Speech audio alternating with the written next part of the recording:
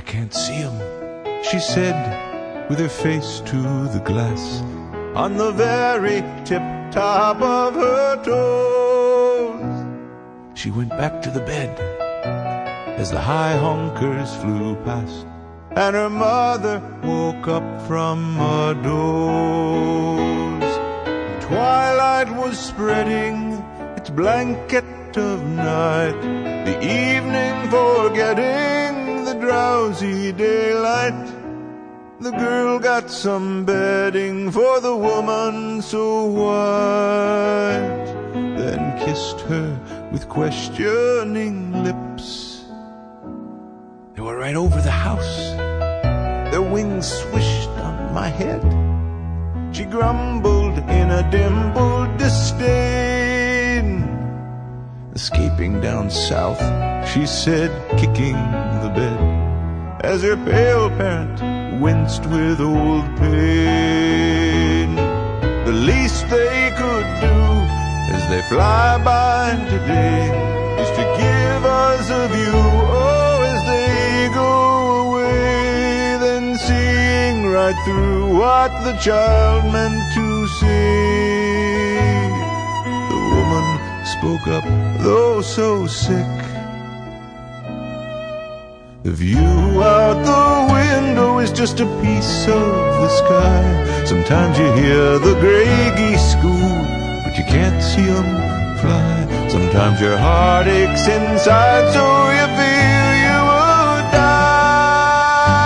And the reasons, well, God knows, but He don't tell you why. Cause the view out the window oh, is just a piece of the sky. I won't let you go, Mama. I just plain refuse.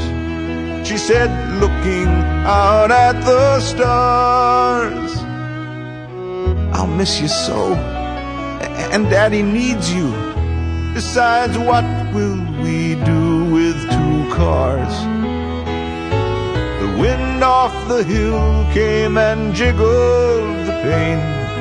Sorrow just spilled from their hearts once again. Then the room got so still as the woman explained the mercy that turns you to tears. Now God's got a house in a place set apart with a porch that sits over the sea, and He's fixed up a room that looks out from his heart, and he's saving it just for me. But I'll gaze out his window to this world here below, and laugh in the wind blowing, so you will know that my love for you has been growing, even though we've been apart through the years. The view out the window is just a piece of the sky. Sometimes you hear the gray geese go, but you can't see them fly. Sometimes your heart aches inside, so you feel you would die.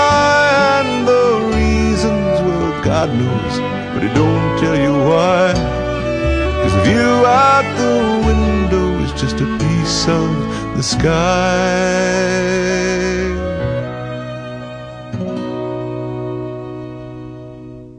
There were coats on the bed, and aunts in the hall, and a kitchen of small talk relief.